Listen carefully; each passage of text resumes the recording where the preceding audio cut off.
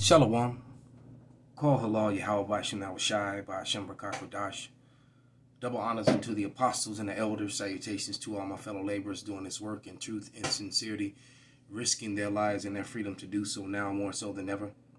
To the scattered elect that are scattered around the four corners of the earth, that be like unto the speckled bird, the Israelite foreigners, and to the Akwath that are listening and learning to you, I say Shalom. This is your brother Malcolm from the branch of the Great Millstone here in Chicago, coming at you with another lesson in truth. And um, this is a video to a response to a, a statement. And okay, I was watching I was watching a video that the uh, that the our, our, our elder apostle Tahar had put up, and there was a statement that someone had left on the comment board about IUIC, ISUPK and Sakari teaching that you're you're uh, you achieve manhood at 20 years old, and I've been taught I've been told 12, and um, and but that was a subject matter that I really hadn't dove into in recent time, and um, but I do remember uh, I did remember reading in Numbers how that had something to do with war, and I couldn't remember the scripture, so I quoted it. All right. Um, no, no, no, that's not what happened. I, I, I said, I said, oh, oh, really? Then I'd have to see the precepts for that. And someone put precepts in uh, numbers uh, eight, uh, one and eighteen, and one and and um, and numbers uh, one and twenty. So let me go ahead and grab those.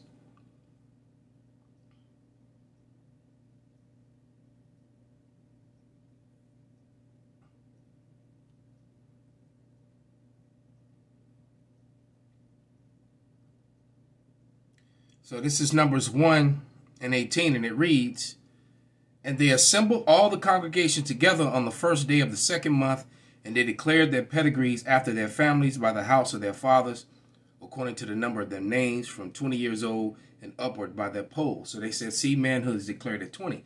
Basically what they were saying. Then they used 20 as well, and it says, And the children of Reuben, Israel's eldest son, by the by their congregation, after their families, by the house of their fathers, according to the number of their names and their polls, every male from 20 years old and upward, all that were able to go forth to war. So I was like, wait a minute. That's got that's to do with war. So and when you go back to numbers one and 20, I mean one and three, this is what I was quoting when I, I responded. All right, when when when I saw that they responded with those scriptures, I said, "Isn't that got to do with war?" And I couldn't remember the scripture in Numbers. Um, but it was one in numbers one and three. And it says, From 20 years old and upward, all that are able to go forth to war in Israel, though Aaron shall number them by their army. So it did it wasn't saying that they weren't men before. What it's saying that you have to be 20 years old to go to war. So and then I realized, wait a minute, you know, outside of the, the, scripture Luke, I don't have I didn't have a, a, a bunch of scriptures that I could rattle off to give my four precepts. But you know what? That's why we have a body. So I went and so, you know, and I was, you know, kind of cat stumped with that. And I started searching. I put in manhood in the Bible, and all these things came up, which really have nothing to do with the subject matter, if you're looking on the screen, of what the conversation was. And this wasn't a, a conversation that was uh from the from at least not from my end. It didn't it wasn't a conversation that was that was uh, uh, you know a back and forth like we're trying to outdo each other in the scriptures. This was just like you know just a, uh, an exchange of, of, of, of understanding. You know, just going back and forth trying to get clarification, edification. So it seemed to me anyway. but the thing is though is when I went back to try to find the, the, the statements, the scripture, I mean uh, the conversation, it was gone. And I couldn't even remember. I was like, okay, well, I won't worry about it. But nevertheless, it inspired me to do this video and to chastise myself because we have to be prepared. But I did go to the body and and and um and brother started, you know, I went on, on to the GroupMe and, and and a bunch of scriptures came through. And most of these scriptures came from uh, Mathathia. So I'm to go to uh, Numbers, I mean, not Numbers, but Mark 5 and uh, and, and 42. Because you know how you know something?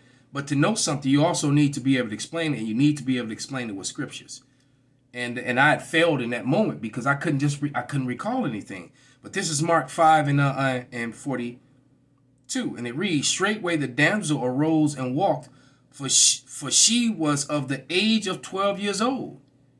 And they were astonished with great uh, um, uh, uh, uh with great astonishment. So at 12 years old, this this girl was declared basically a damsel, which means what? A young woman. All right, meaning she she had reached the flower of her age. She could she could bear children.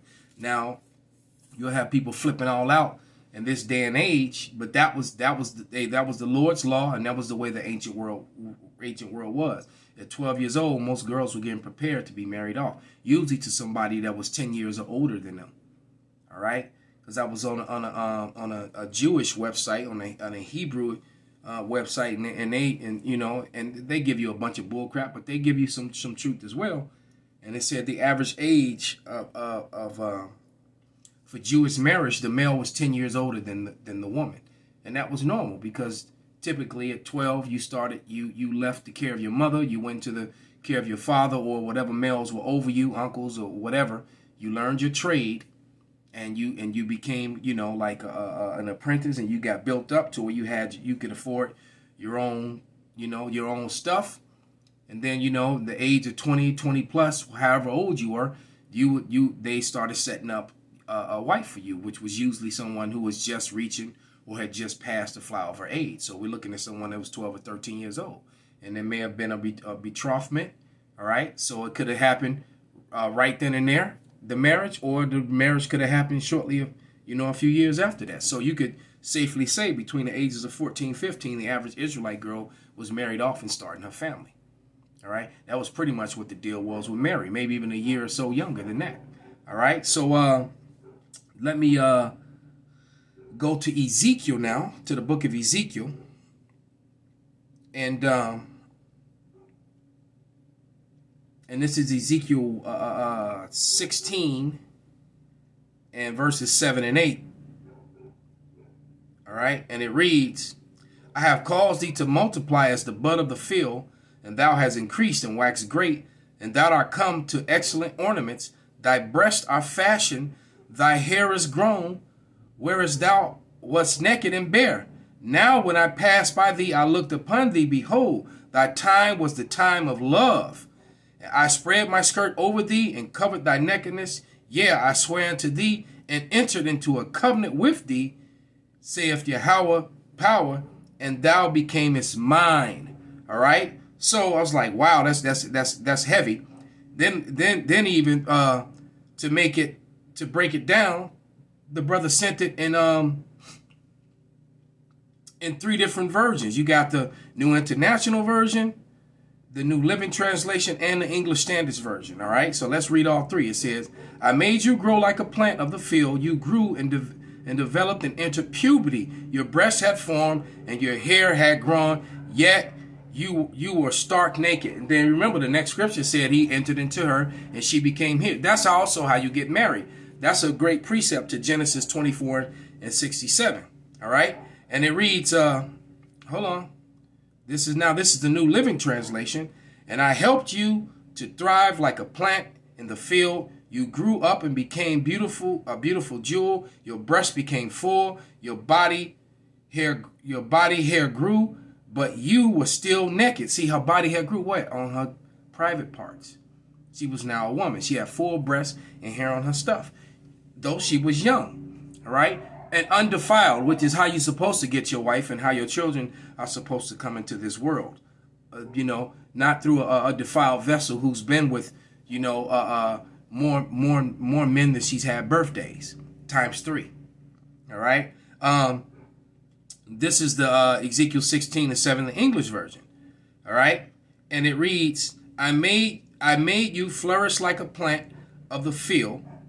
And you grew and became tall and arrived at full moment. Your breasts were formed and your hair had grown, yet you were stark naked. All right? And so and let me go back and read that in uh, Ezekiel 16 and 8 now. Again.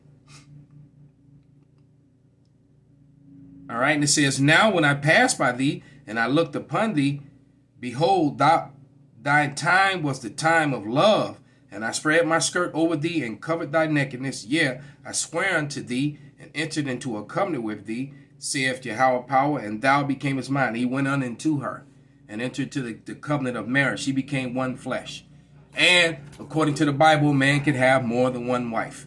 All right, that's something that that uh a lot of you women are having issues with, including those of you who believe, and it's causing a lot of problems in Israel for the men who decide to do that. Hence the reason why Paul, you know, told us that that you know it's it's uh it's probably not a great idea to do it in this captivity.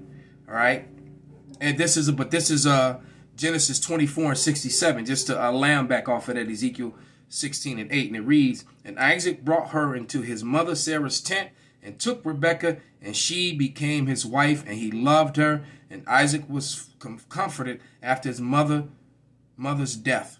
All right. So, uh, manhood and womanhood comes with puberty. All right. But a man is not to be sent off to war until he's the age of 20. All right. Because you you you figure someone younger than that may not even have children or have developed himself yet. You know they you know they typically they looking for you to at least have a male heir that you may continue on. So with that, I'm gonna give all praises, all honor and glory unto Yahweh by Hashem Yahweh Shai, by Hashem Rakar Kadash, Wa Abba Babal, Kwam Yasharallah.